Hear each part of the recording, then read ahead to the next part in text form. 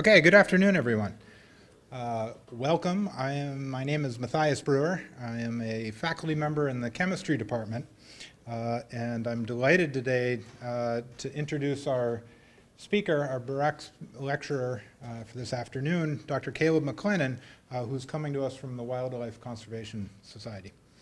Uh, so some of you might be wondering why is a chemist hosting a wildlife conservationist? And well, there, there's two reasons. First of all, uh, just because I'm a chemist doesn't mean I don't like the environment, right?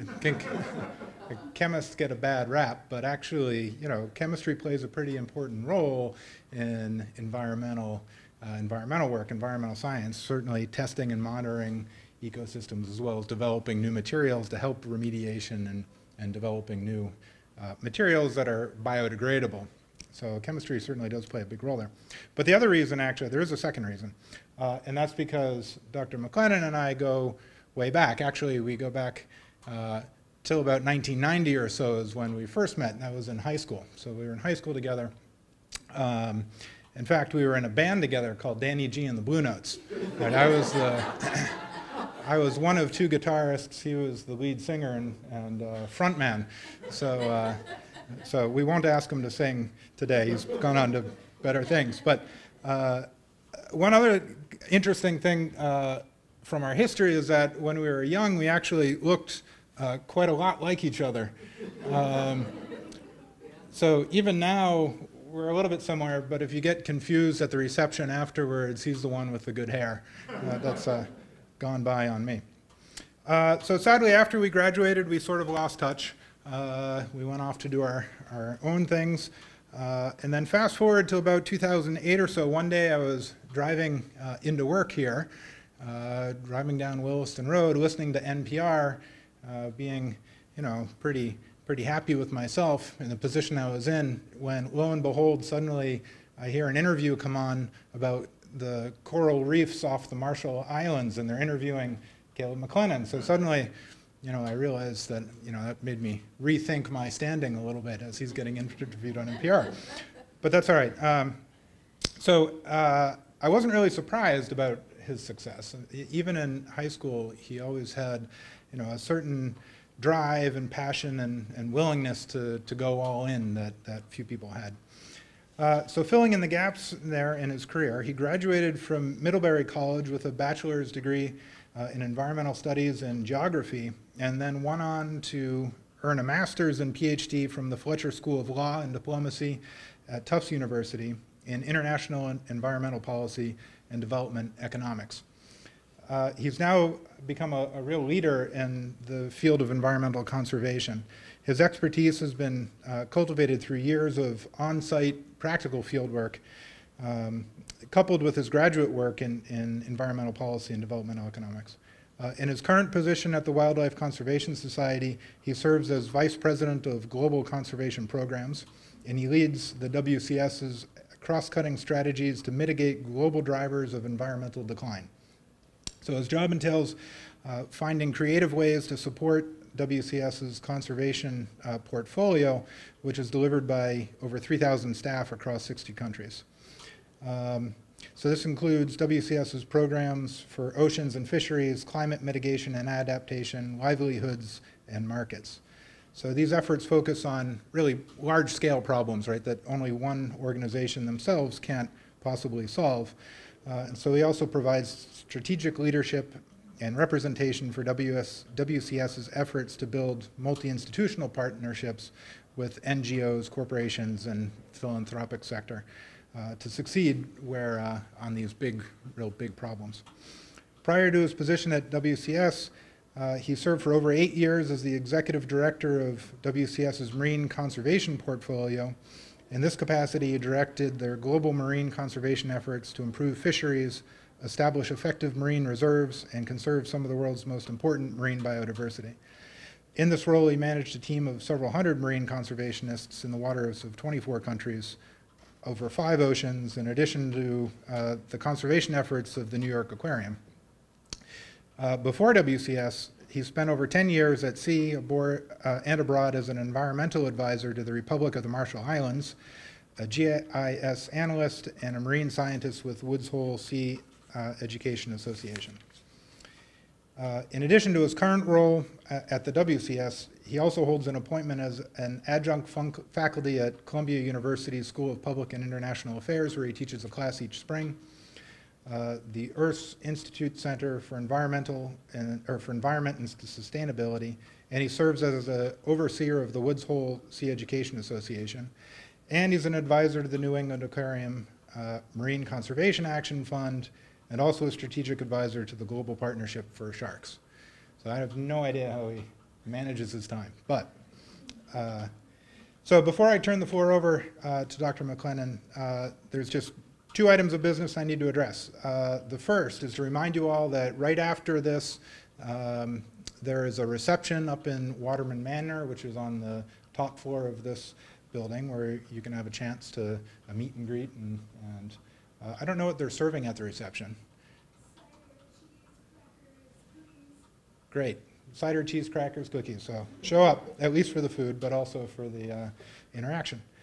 Uh, and finally, the last thing that I need to do is present as a small token of our appreciation, a, for coming all this way, a, a small gift basket of Vermont chocolates and coffees. Uh, There's a take-home prize for, for you as well. Okay, and with that, I will take that beautiful picture off and put on an even better one. Okay. Thank you. Thanks. for coming.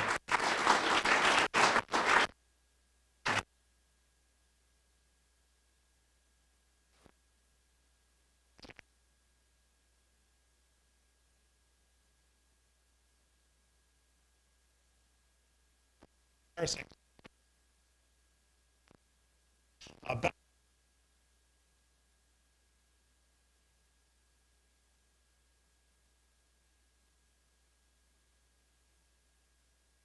in ocean conservation. Uh, and the mic should be on now, and it wasn't on before.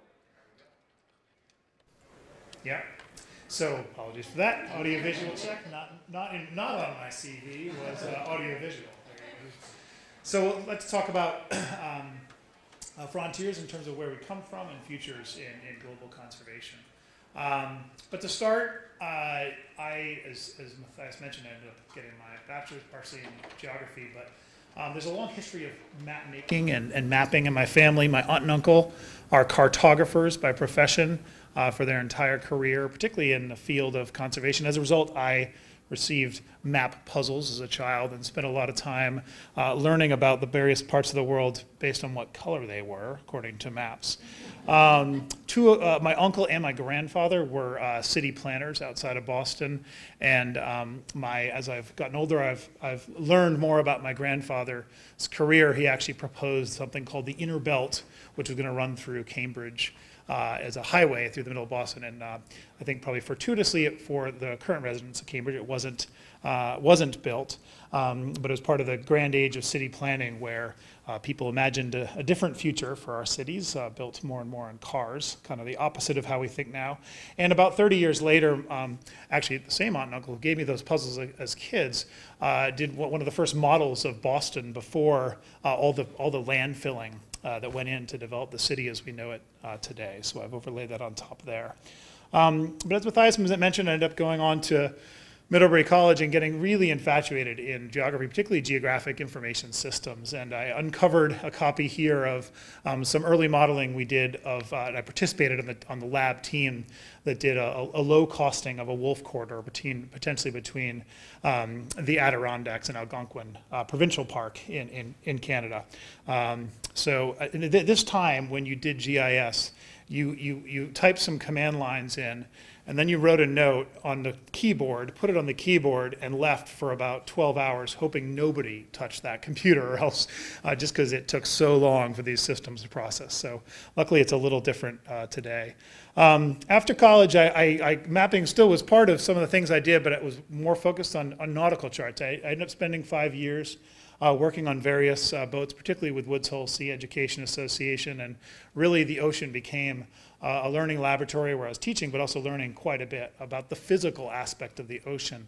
Um, somewhere along the lines, visiting dozens of countries, seeing co- communities uh, interacting with the sea for all the benefits, but also all the challenges. Uh, that they're facing, I became and decided to switch from natural sciences more over to social sciences and ended up focusing on, on policy and economics. And uh, the map making stayed with me. I actually helped the Marshall Islands government uh, negotiate its, its official maritime boundary with the Federated States of Micronesia. And this is actual extract from the treaty that we negotiated while I was there. Uh, so a line on a map, yes, but also important in delimiting those fisheries that those countries, one of their most important economic sectors that they use.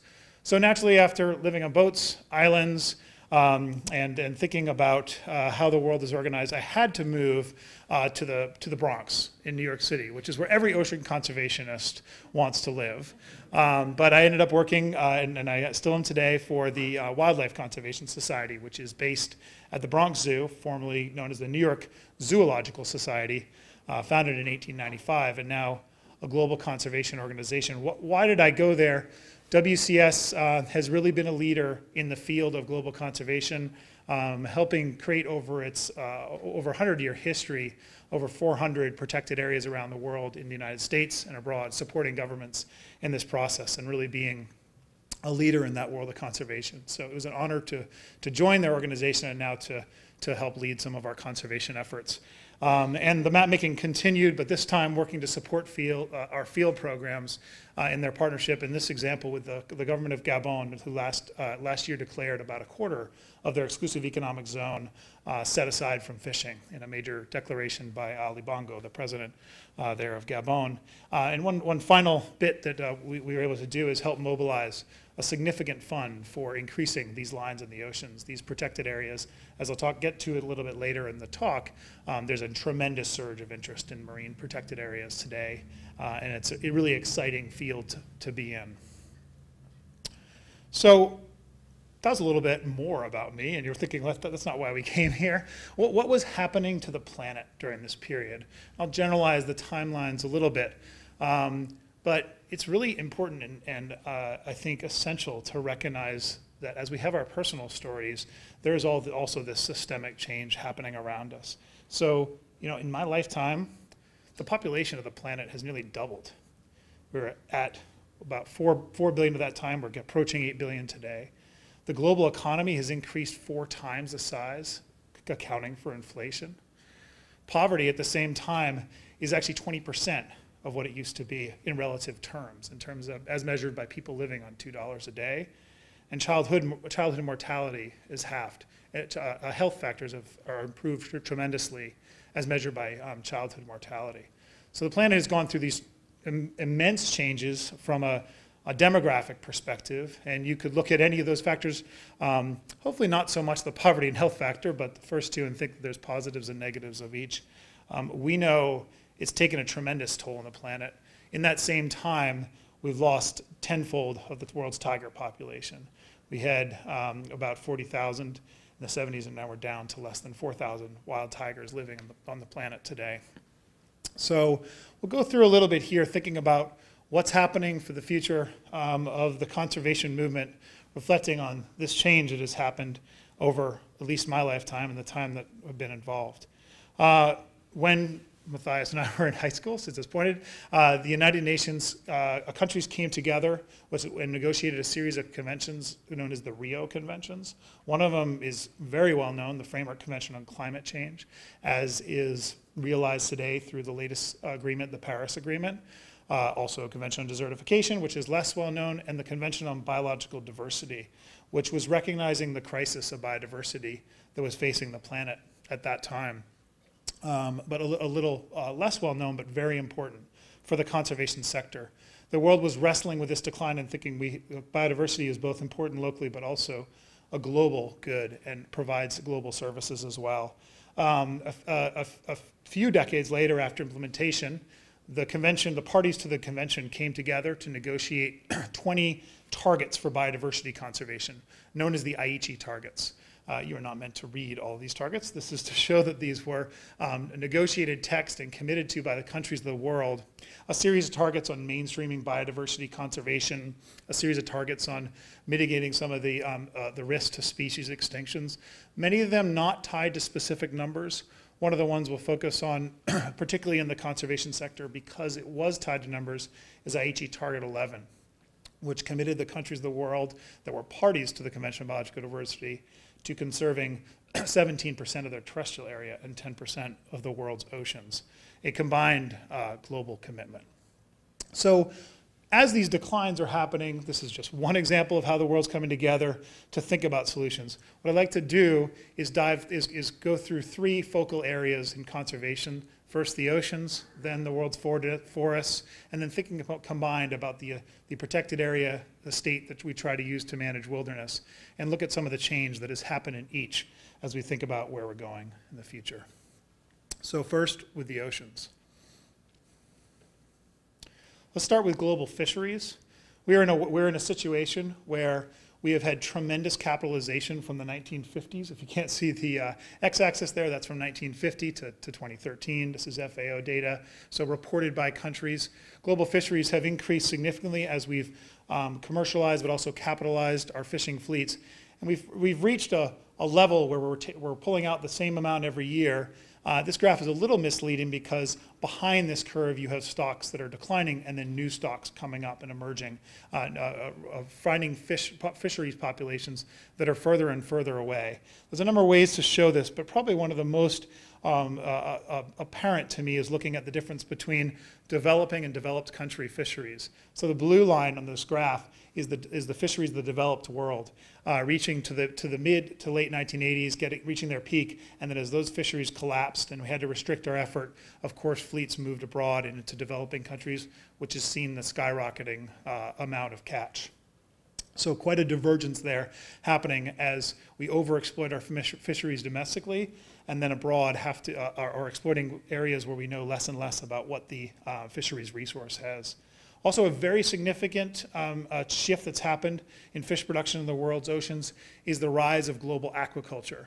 So the, on, the, on the orange part of this is the total capture production, that initial slide that I showed on fish production, and the blue is the rise of aquaculture. Today, the fish that you eat on your plate, you're more likely that that fish uh, that we actually consume um, as of about 2013, more likely that that was farmed versus fished in the wild. So we have a massive substitution of our, of our fish production system towards farm fish and aquaculture. And in the last few years, well, some of you have been at, at UVM, we've, we've gone through that switch from, uh, from wild to farmed.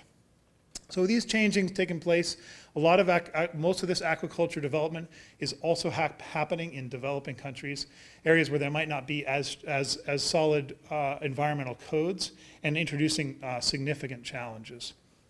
Also, one last point on, on, uh, on fisheries before we move on to some, some news that's happening that's very positive is the increased understanding that of the global fish production that we are reporting to the FAO, the slides that I just showed you, is a significant underreporting. This is data from the Sea Around Us project at the University of um, British Columbia, where they've remodeled fisheries, particularly in developing countries, based on household surveys and calculated that small scale fisheries, those, those, those fisheries happening in artisanal and nearshore fleets, in some countries, such as the case of Mozambique here, might be four times the harvest of the official reported catch.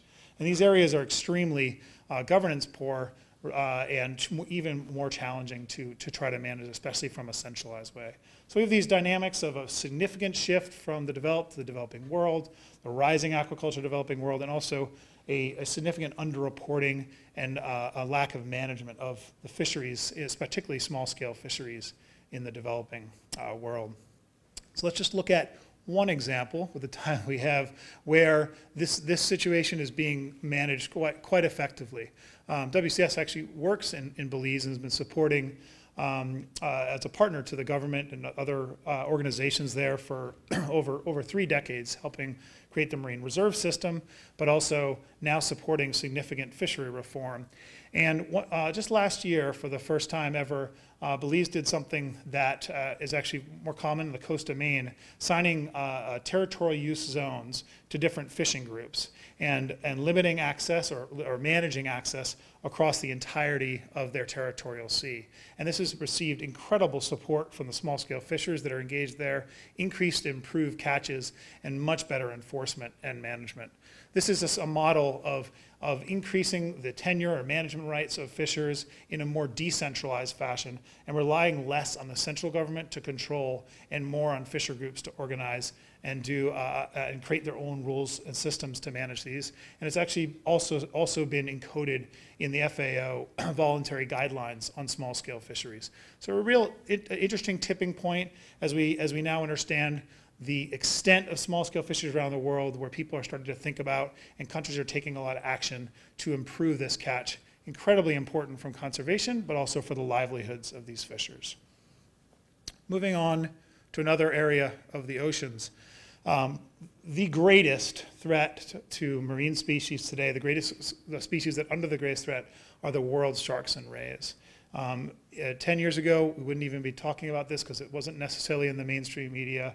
Images like this, a rooftop, in this case in Hong Kong, that, was, that, that has been repeated uh, uh, through a number of media sources, have helped people understood the grave threat to the world's uh, sharks and rays. Skyrocketing catches, significant values, and essentially the same problem that I just articulated with small scale fisheries, not very much management at all, very little rules on the ground, as you'll see.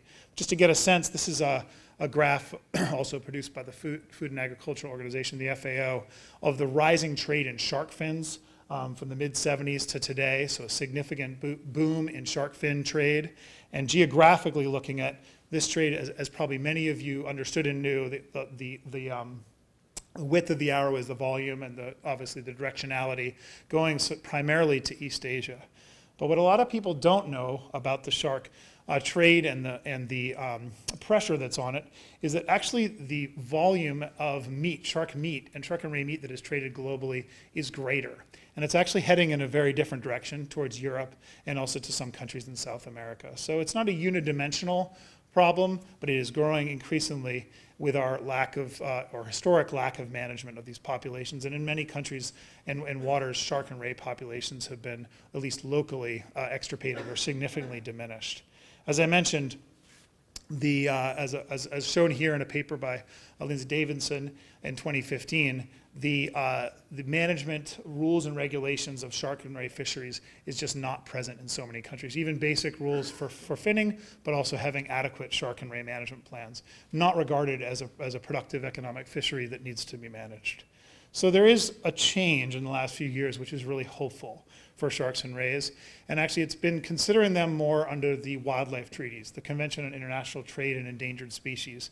In 2013, for the first time ever, uh, the, the, parties to CITES, through a two-thirds majority, listed the, the, the, first ever commercially traded uh, uh, species of sharks and rays.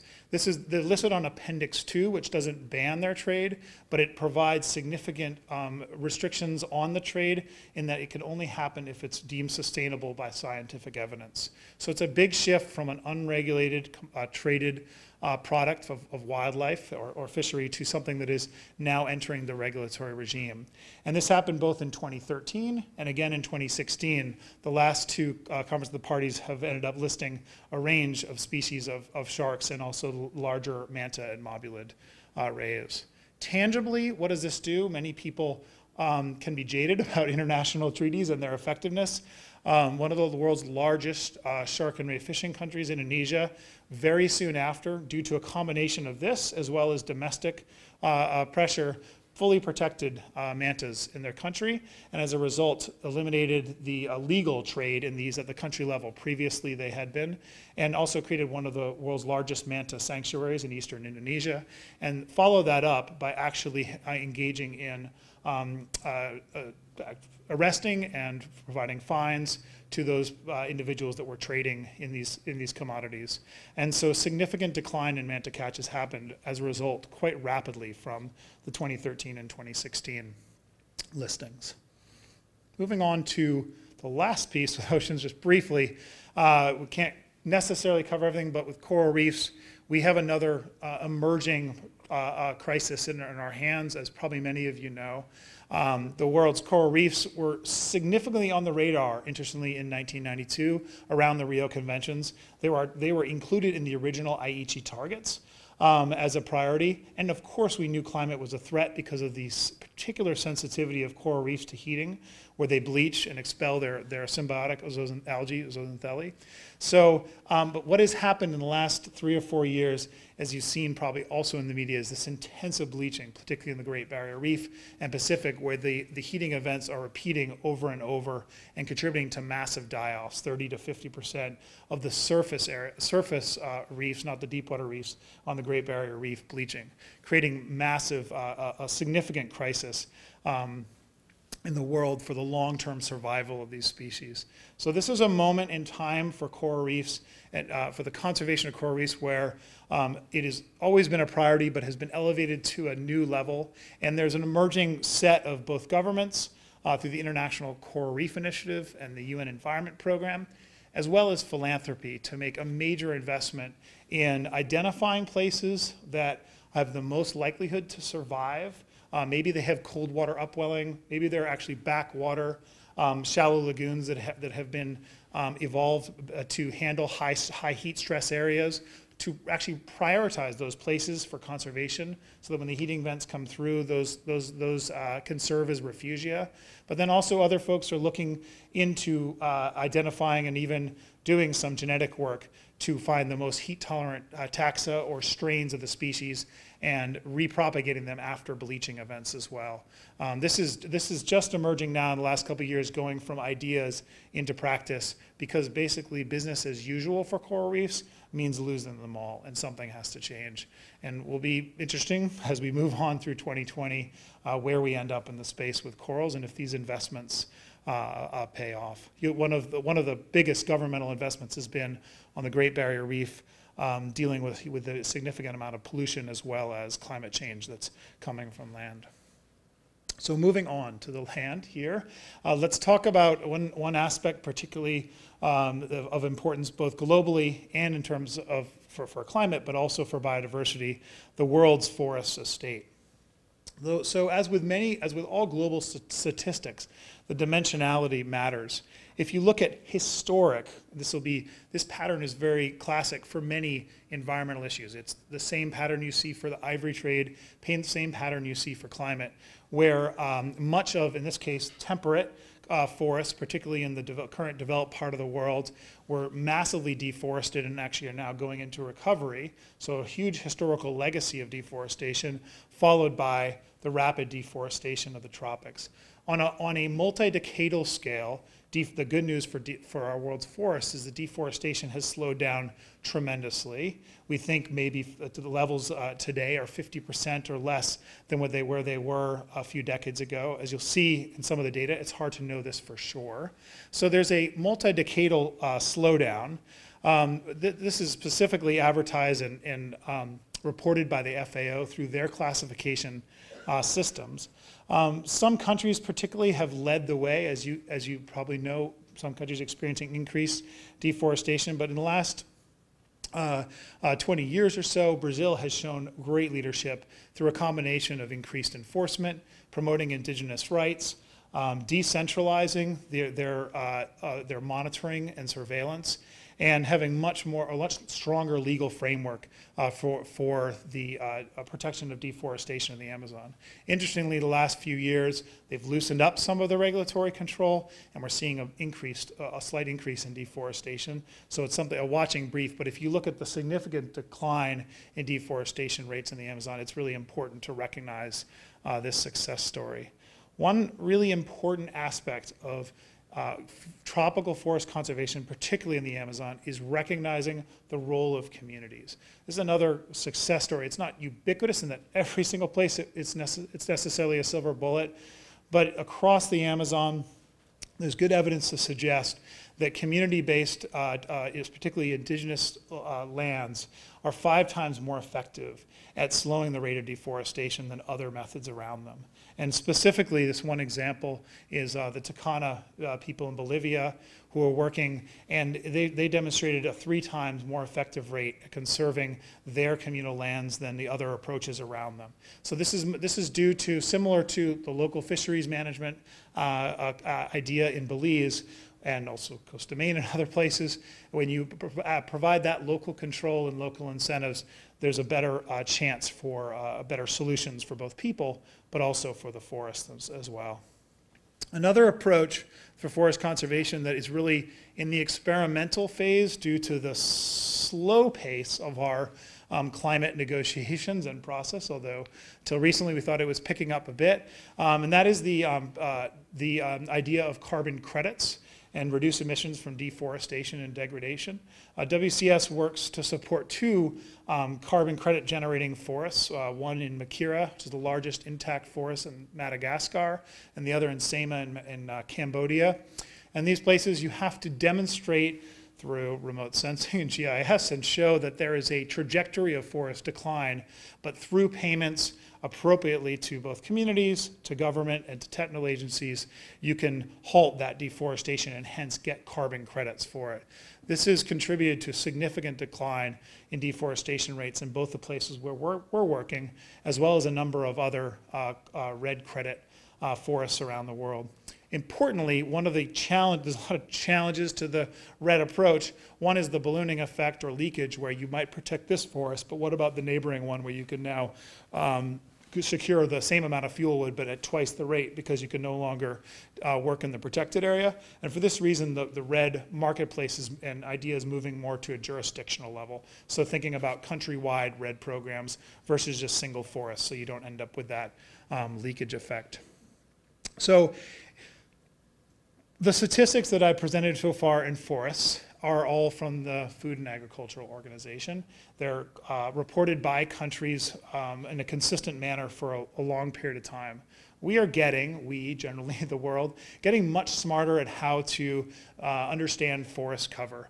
Here's data from the World Resources Institute's Global Forest Watch, which is using uh, active remote sensing data to get a better sense in near real time from a global change perspective of what's happening to the global forest uh, uh, state. And, and here we're actually seeing a slow rise again in deforestation rates as we're having tremendous development pressures happening on the world's uh, particularly tropical uh, uh, forests. And through a through an open portal, you can see this uh, on a global perspective, or you could zoom into an own protected area where you're working to visualize on their platform, Global Forest Watch. And importantly, to decentralize, and I would also reference democratize access to what's happening to the world's forest estate. So just three layers here. This is Global Forest Watch forest cover. This is showing forest decline uh, uh, since 1990 in pink, where you see all the areas that have declined.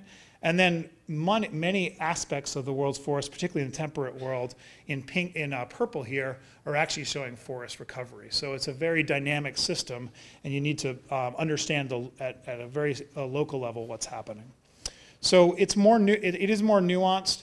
With greater amounts of information, we can go deeper and think about what strategies to, to deploy at the, at the level um, that matters for these forests. There's, there are also political commitments. There, there were some in the Aichi targets. They were not as, um, as hard as, as they needed to be for forests. So in 2014, some, uh, there was a voluntary declaration called the New York Declaration on Forests with a goal to half forest deforestation rates by 2020 and fully eliminate deforestation rates by 2030. Um, some not all countries have signed on to this, but it's a sign of growing political momentum around trying to slow deforestation rates. Interestingly, as that is being signed, better and better data is showing rising deforestation rates. And even the reporting mechanism of the New York Declaration on Forests is showing those trends of increasing deforestation rates. So the opposite way it was intending to go. Um, however, with forests, not, it's not just deforestation that matters. And this photo kind of gives you an example of what I mean. Increasingly, we're, we're learning as we have better and better data about the world's forests, not just from remote sensing, but also from on the ground, say crowdsourced road data, where people are saying which, where different paths are moving through around the world. There's, a, there's amazing uh, new data sets that are coming in. And we know when you drive a road through a rainforest, the actual deforestation that happens from that road, it's close to linear, so it's not so much from a square kilometer perspective. But the degradation impact of that goes out 20, 30 kilometers into the forest. So the quality of the forest declines significantly. And so while we, while we have on a multi-decadal scale um, slow deforestation rates, even with a recent slight increase, we are significantly losing the battle, and the rates of forest degradation, that loss of forest quality, are actually twice that of the rates of, of uh, deforestation. This map shows you can just barely see the light green is the global forest cover of the planet. The dark green is what's left as intact. It's only about 20% of the world's standing forests today is actually intact and not degraded in any way. So we're having these multi-layer challenges uh, for forest conservation. Nowhere in any policy statement commitment is the idea of intactness included. We need to think about intactness targets, targets to protect against both degradation as well as deforestation. So combining this together and thinking somewhat agnostic of terrestrial mean and thinking about what's left on the planet for wilderness and what are one of our main tools for protecting wilderness, um, the protected area. Some recent research with, as we have data, particularly some done by WCS uh, collaborators um, at the University of Queensland and some of our scientists have shown that we are continuing to experience this erosion of the world's remaining wilderness. We think, uh, as a, a stu study that came out in Science last year, about a tenth of the world's wilderness has been lost since the 1990s. We have less than a quarter of wilderness across land, agnostic of, of ecosystem, uh, left uh, today on land. And interestingly, when you look at what's left in the world's oceans, um, some work Ben Halpern has done has shown that essentially the entire ocean has been impacted. The fluid nature of the ocean much easier tr uh, transmits impacts, as well as the pressures of climate are, are so great on the ocean uh, itself. So we have a, a, a, increasing loss of wilderness on the planet, both in terrestrial and marine, in increasing loss of those last intact places. As I mentioned, Aichi Target 11 was one of the strategies to try to, to deal with this uh, expanding protected areas, both terrestrial and marine protected areas. And here is an interesting story. Increasingly, the world's terrestrial target is approaching the 17% figure um, from when the convention was signed, uh, uh, uh, committed to in the early 90s, at about 15%. And rapidly, for those of you who have been following what's happening in marine conservation, we're having experiencing significant growth of marine protected areas. Importantly, this graph is showing just that in jurisdictional waters, so just within the exclusive economic zones of countries. When you actually look at the whole ocean, it's less than 7% that's protected, so we still have a ways to go towards this target. So on paper, the world is rapidly, uh, countries of the world are rapidly increasing their protected area state to meet Aichi Target 11, which is, which is exciting.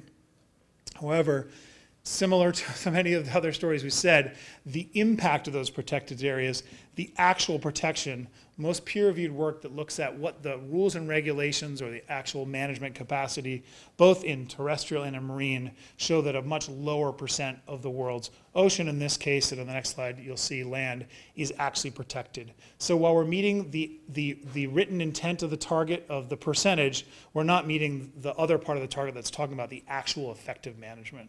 And this is a really real challenge as we in some uh, press, you might see this great congratulations to the world of meeting its, approaching to meeting its protected area targets and realizing that's really the first step even of those original Aichi targets as we start thinking towards the future.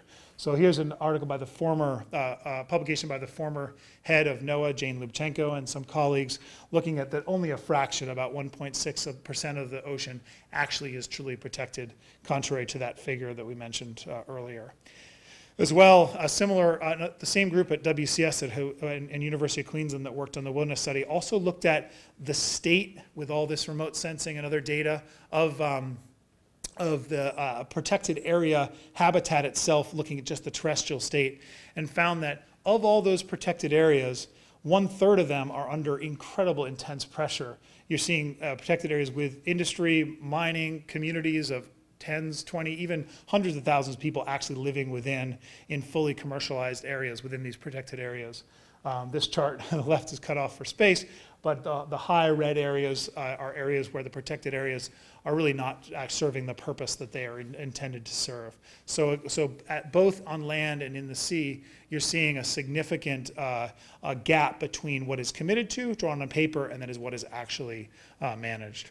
Uh, one last component of this before we start reflecting and thinking a little bit about where this takes us for the future um, is not only is there a challenge of, the, of, of, managing that which is created, but there's a really interesting program called Protected Area Degazettement um, and, deg- and, Degradation, the PAD tracker that looks at over 4,000 events where similar to maybe the most notorious here in the US with Bears Ears, you have protected areas that have been created, but then significantly uh, restricted either in their size or intent and downgraded.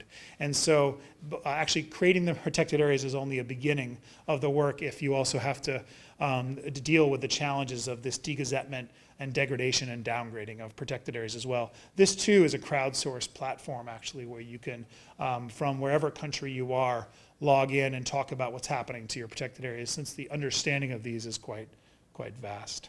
So thinking about at least a select component of how we, of aspects for conservation in the world's oceans and land, and then thinking about wilderness and area space protection. Uh, originally, the idea is to talk about, so where are we going uh, post-2020? Uh, 2020 matters. Uh, some policy wonks have been calling it the super year because there's so many commitments, and it's actually not just in the policy circles, but also corporate circles, and many NGOs, including WCS, have a 2020 plan. So many commitments will be measured in that year. Did, did we meet them, but also what's next? Um, next month, uh, the Convention on Biological Diversity is having its conference of parties in Egypt, and then a year from now, uh, the 2020 COP will be in China. And, the, and it is at that COP that there will be a new set of commitments for biodiversity. And the question is, where should the countries be going and committing uh, to in the political front to um, uh, continue uh, their trajectory, what's, what's working, what's not working, what needs to change. Uh, simultaneous to this, uh, as, as many people know, we have, we have gone through the Sustainable Development Goals. And one of the challenges for nature conservation is mainstreaming, yes, but then also having select targets and goals in, in them, themselves. With the SDGs, there's two targets uh, uh, life below land, life below water and life on land that particularly uh, call out conservation issues. They repeat those Aichi targets of 10 and 17 percent by 2020, but then also a range of, uh, of other sustainable development goals on food, nutrition, uh, health, and climate that intersect with the Aichi targets as well. So the harmonization of these global commitments is important. The next slide is not to uh, necessarily uh, be totally, completely absorbed, but here's the path to, uh, to, the, to the COP in China next year. You'll see a, a, range of different uh, of discussions, uh, meetings and events to gather ideas from the world. And we're really, we're not at the beginning, but the official governmental process began at the beginning of 2018, where it was some stakeholder dialogues to be part of the conservation, part, part of the conversation and discussion about what the world should be committing to in 2020 for the next 10 years of biodiversity con conversation, conservation. So it's an important time to be reflecting on what's worked, what hasn't worked.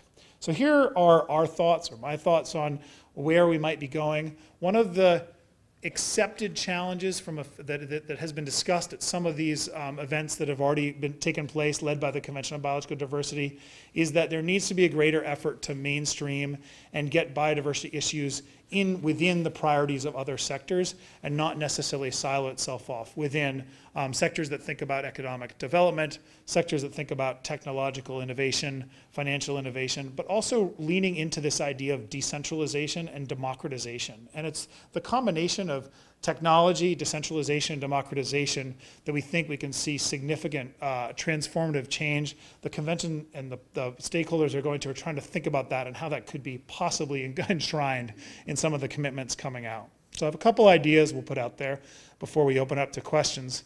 Um, I, I would like to say, importantly, beyond 2020, we cannot lose track of what has been what has been done so far.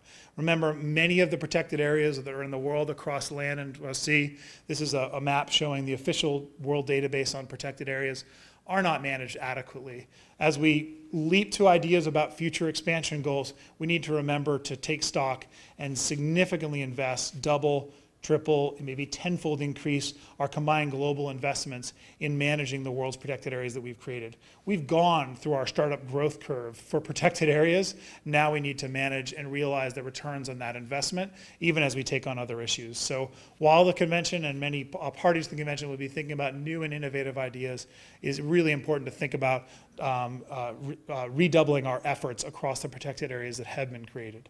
But thinking about how to make some leaps forward, here's a few programs that we're working on that embrace this idea of both technology but also um, finance and democratizing the data that we use for conservation. Um, we have uh, all of these, interestingly, are partnerships. Um, uh, WCS works in a number of countries around the world, but we work almost nowhere alone. And especially when we're getting into global initiatives, it's really important to work across partners. Uh, one of the things is managing protected areas is incredibly costly. So we've, we've worked with a number of organizations to create the SMART partnership that is a, a law enforcement efficiency tool, essentially helping use, they're now working on even an artificial intelligence module to predict where enforcement infractions will happen based on past data and then reallocate patrols out there.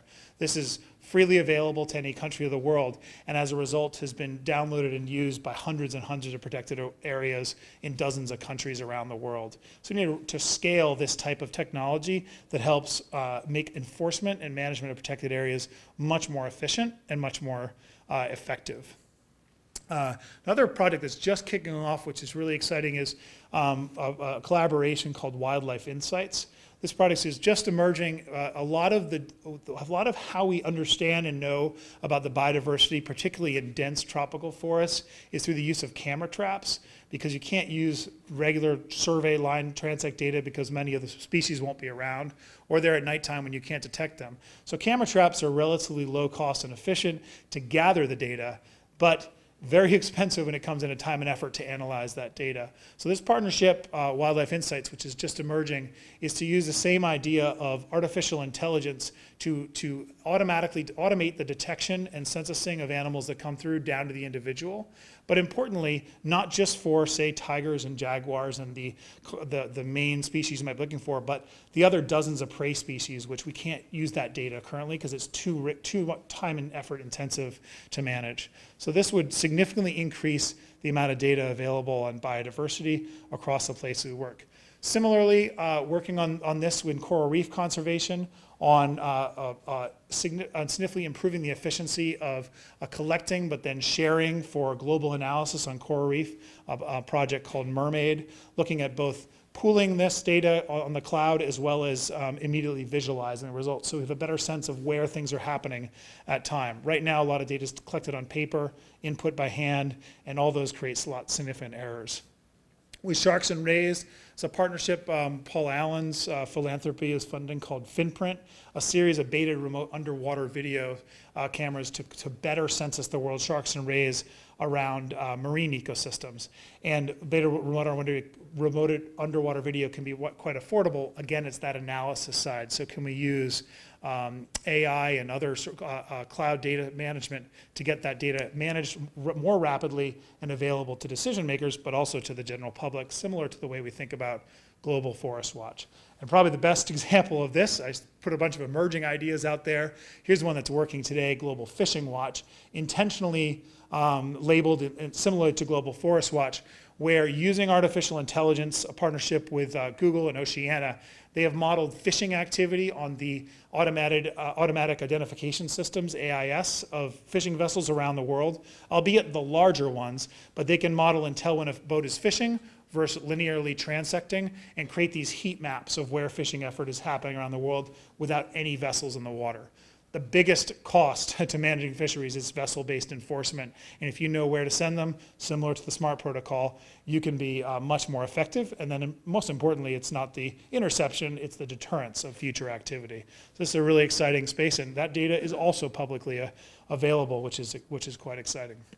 Thinking about democratizing and making available uh, uh, spatial data on ecosystems as well. There's two um, uh, projects, one quite far ahead of the other, one on key biodiversity areas. There's no, there's no current standard of uh, critically important biodiversity areas around the world that is, that is built from the bottom up. Um, uh, BirdLife International worked on something called important bird areas. Uh, and so some other criteria for certain species has emerged, but not one, as they call it, central currency for conservation of some of the most important biodiversity areas in the world, um, done to international standards. So the key biodiversity area partnership, which is uh, coordinated by the IUCN and WCS and a range of the world's uh, leading conservation organizations are part of it, is a bottom-up process, country-driven, to identify these areas in a globally consistent manner and then make them available to the public, not just the government, but to the public, to companies who might be thinking about investing to know where to avoid in terms of um, uh, key critical areas for biodiversity.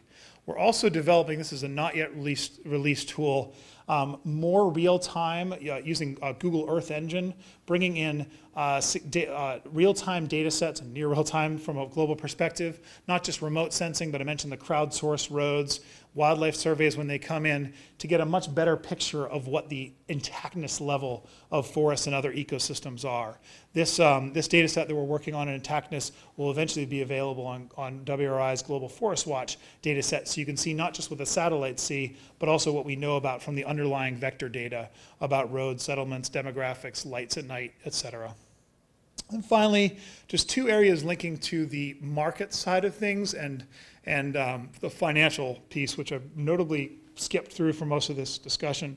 We have massive investments in the order of trillions of dollars predicted in infrastructure.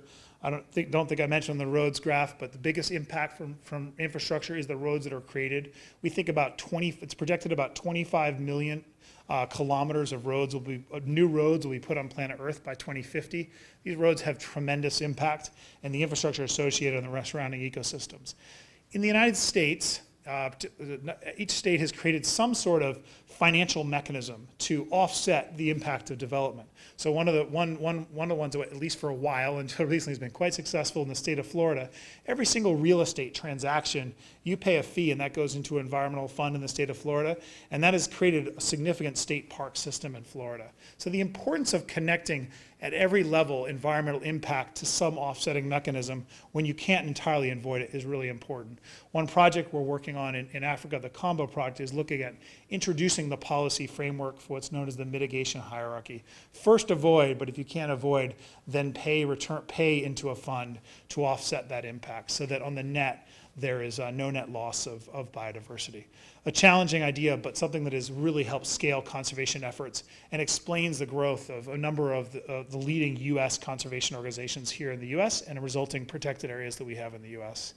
Finally, we'll need to continue on finance and uh, innovative approaches, not just payments for development, um, but insurance schemes, public-private partnerships. How can we think about uh, better financing conservation beyond grant dollars or beyond just government revenue? Um, WCS is also the secretariat for the Conservation Finance Alliance, which is an alliance of uh, several hundred trust funds for different protected areas around the world, thinking about how to leverage better their endowments with a range of innovative financial tools. We'll need to significantly scale these efforts after 2020 to manage that estate, because all the ideas in the world, if they can't be funded, can't be executed. Thank you very much.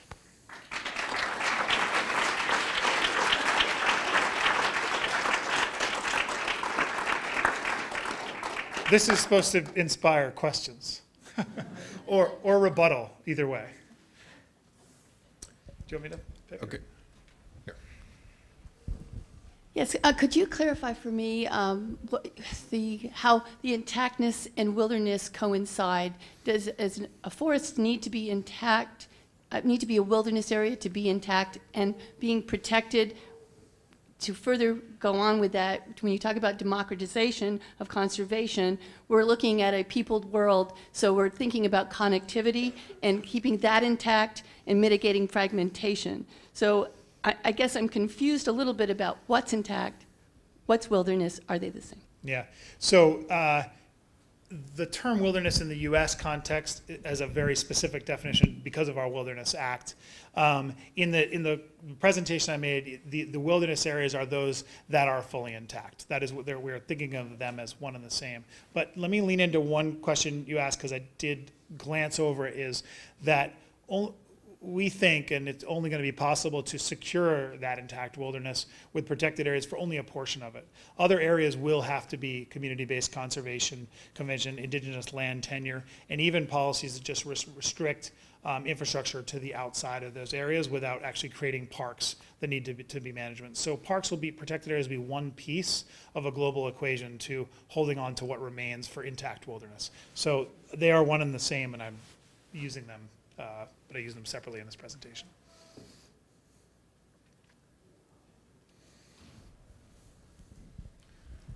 Can you address the study that just came out? I think it was from Puerto Rico, where there was like a 95% collapse of insect species that they found there.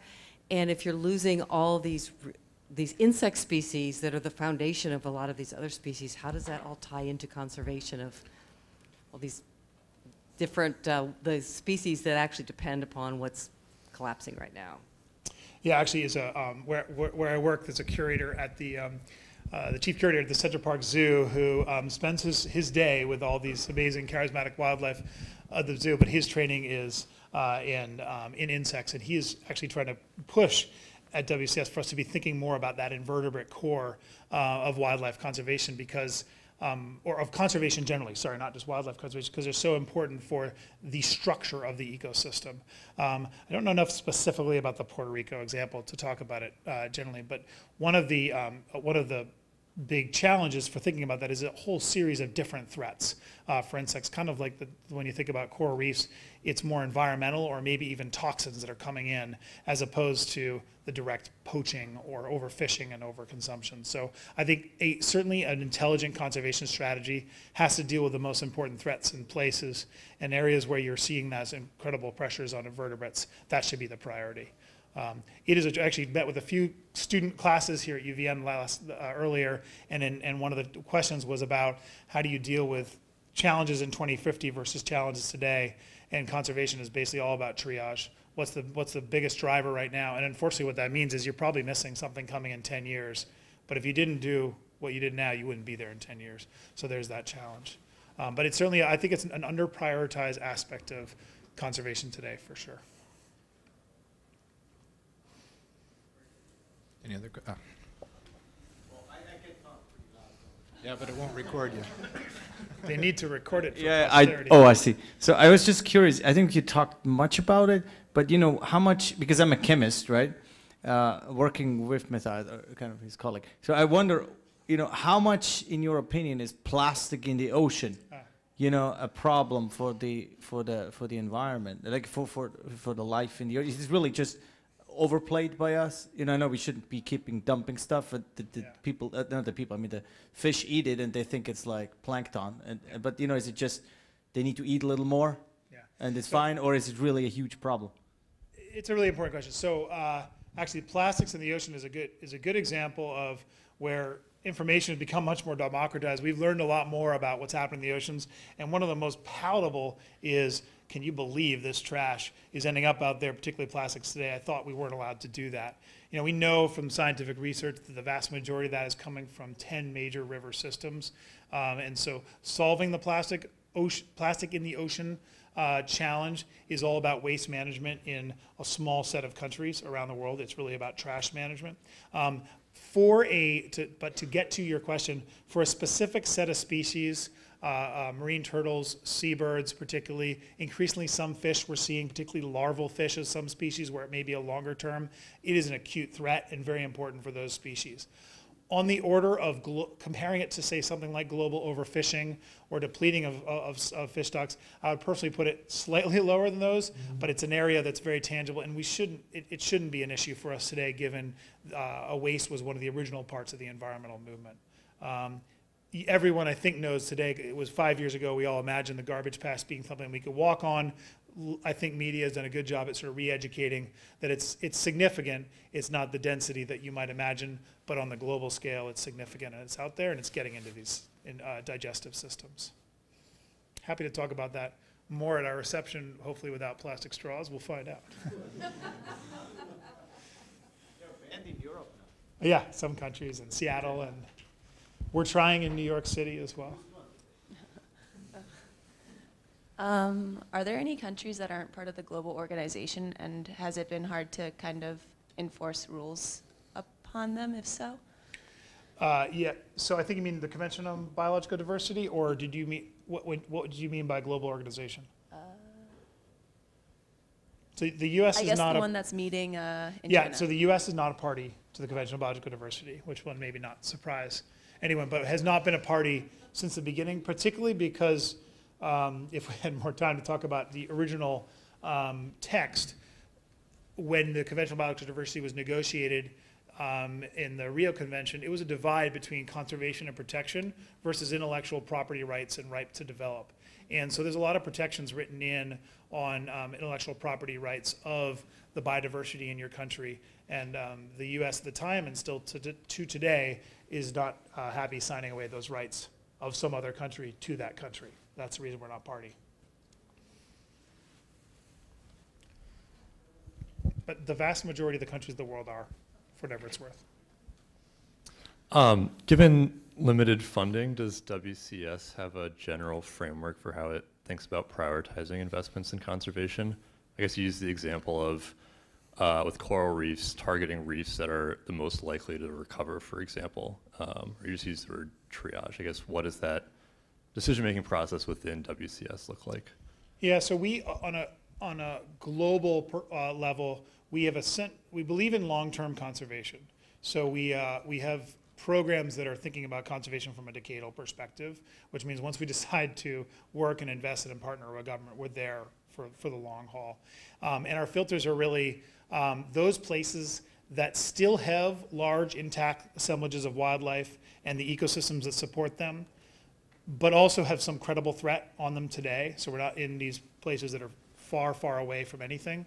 Um, and also are in need of significant capacity, either financial or technical resources. So that tends to put us in developing countries, particularly developing tropics, both for reefs and forests. We have worked, and we still do, have programmed in temperate areas as well, um, but that is not necessarily our focus. So large aggregations, intact ecosystems, and we tend to prioritize actually at a landscape and seascape scale, even within those countries.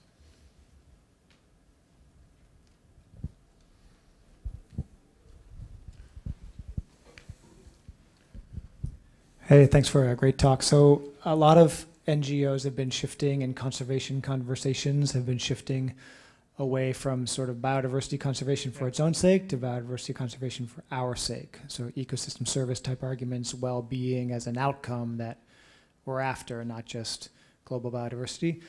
Uh, could you just talk a little bit about how WCS sees itself on that spectrum and how's that been changing, say, in the last 10 years? Yeah, so you're uh, 100% right. The, the whole sector, um, even sustainable development goals, as articulated by the idea of sustainable development, has shifted towards um, uh, why, why protect nature for people versus nature for nature's sake. Um, uh, we have the reason I switched the slides is to show uh, one of our, our mottos. We stand for wildlife. We've intentionally decided as an organization to stay focused from a mission perspective primarily on wildlife and biodiversity. In our mission statement, it does include for the well-being of people, but uh, our, our, our ethic is much more on that side in recognition that so many other groups have shifted towards nature, conserving nature for people. And if there aren't some organizations that stay focused on wildlife and conservation, we'll be missing some important pieces of the puzzle. So um, the reality is, I said, um, actually, it also took class earlier, on the ground is when you get to a real conservation challenge, um, even the two ethics, when you come together, you're going to, going back to triage, you're going to take on an, uh, an approach that is both human-centric and wildlife-centric to have a successful model of conservation.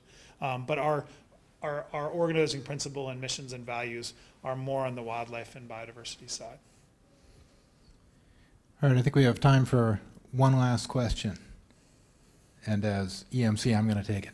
All right. Uh, no, just MC. I don't know where the E came from. All right. Uh, roads. Why are, other than decimating the local squirrel and rabbit population, what, why are roads so impactful? Yeah, so there's um, just incredible evidence. Even the, uh, some some recent data suggests that the Amazon, 95% of deforestation can essentially be explained by being within five kilometers of a road. So it's of course the, the subsistence or maybe even small scale commercial hunting, but then the illegal small scale agriculture that comes in, illegal logging that comes in, it basically provides that vein of access. So um, it's it a- whole range of activities that can that can um, be associated with it, not just the hunting, but the clearing of the forest and then the land use afterwards for economic activity.